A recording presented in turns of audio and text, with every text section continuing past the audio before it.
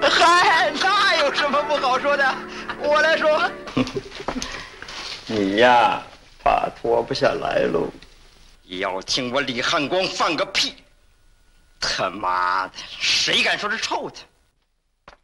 英雄虎胆中的李汉光，作为广西十万大山里的土匪头子，李汉光一开始日子过得很滋润，缺钱就下山抢老百姓。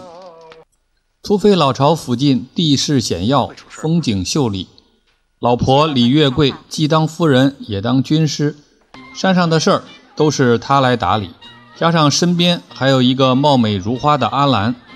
李汉光平日里基本上就是个甩手掌柜，没事儿就喝喝茶、抽抽烟、唱唱小曲儿。解放军派侦察科长曾泰假扮敌副司令到了山上以后，土匪们遇到了不少麻烦事儿。李汉光两口子对曾泰的身份很不放心，三番五次进行试探。李汉光除了心狠手辣之外，还有一个特点就是脸皮厚。他背着老婆去骚扰阿兰，被李月桂当场发现后，面不改色心不跳，像是什么事儿都没有发生过似的。李汉光还有一手绝活，扔飞刀，他手下的独眼龙就是被他飞刀弄死的。最后，他被曾泰引入解放军的包围圈中，跟老婆李月桂一起做了俘虏。怎么着，看不起咱们呢？别说我姓李的不认人呐！去你妈的吧！我这庙里头没有你这个鬼！四爷？他妈的，找娘爸爸来也挡不住老子吃饭！粮食中的李德胜，伪军排长，小名李狗顺带着一排伪军守着一座炮楼，跟鬼子清水住的炮楼遥遥相对。李狗顺算不上死心塌地的铁杆汉奸。有八路军路过时，就朝天开枪应付差事。清水手下有个狗仗人势的汉奸四和尚，在到村里要粮食的时候，揍了李狗顺的手下封老二。一直对四和尚怀恨在心的李狗顺再也忍不下去了，带着封老二找四和尚算账，把他摁在地上，用皮带罩着屁股一顿猛抽。四和尚跑去找清水告状。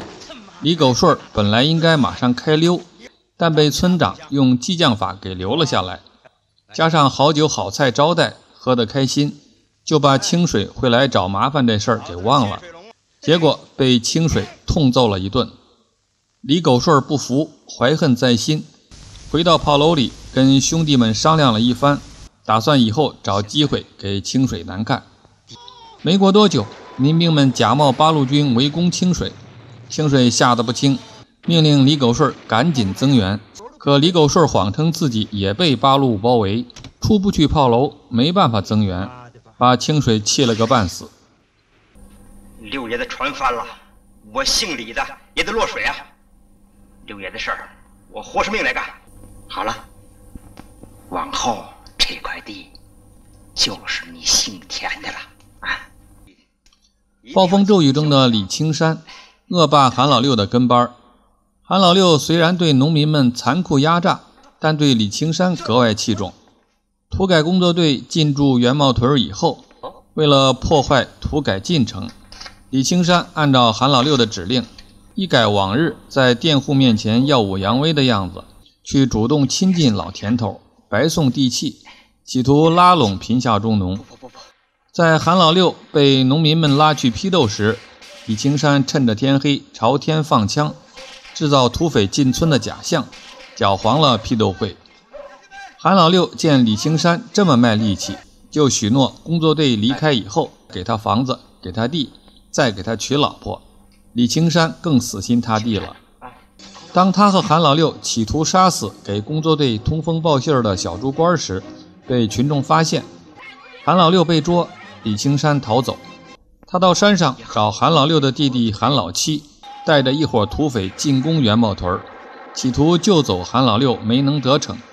李青山被赵玉林击毙。岂有此理！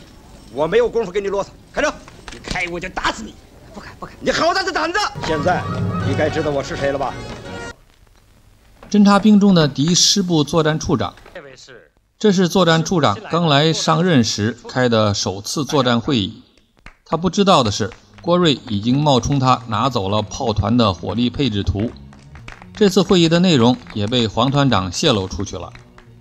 当侦察小分队第二次进入丰城时，作战处长被假冒执法队的小分队截住，他牛哄哄地训斥郭瑞有眼不识泰山，但郭瑞不吃他这一套，非要检查他的证件不可。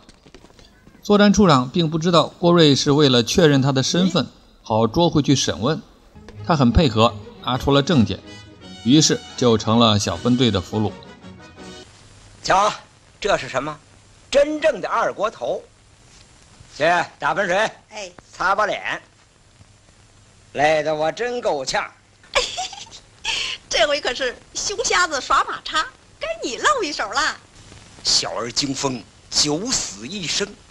这屎盆子还是留给红雨吧。中毒了！啊，中毒了！中毒了！怎么回事？药下错了！哎呀，药下错了！嘿。红雨中的孙天福，在青山大队没有赤脚医生之前，孙天福是村里唯一一个懂点医术的人。虽然医术不高，但架子很大，看病不给点好处绝对不干，所以口碑不怎么样。电影里饰演孙天福老婆的是周婷，方辉跟周婷都是高水平的老戏骨，他俩的对手戏让人看得特别过瘾。听说县里头要培养赤脚医生，孙天福为了独霸全村的医疗大权，也积极要求参加医疗培训班，但被贫下中农坚决反对，没能去成。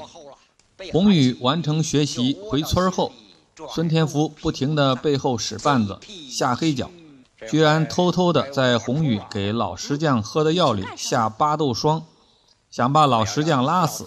嫁祸宏宇医术不精，让他出丑，再夺回医疗大权。